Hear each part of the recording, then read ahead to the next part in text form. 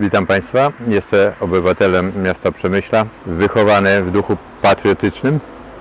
Zawsze ojciec mówił i tak mnie nauczył, żeby we wszystkich wyborach brać udział. Dlatego proszę wszystkich, idźmy do, do wyborów, nie siedźmy i nie narzekajmy. Nie bądź durny, idź do urny.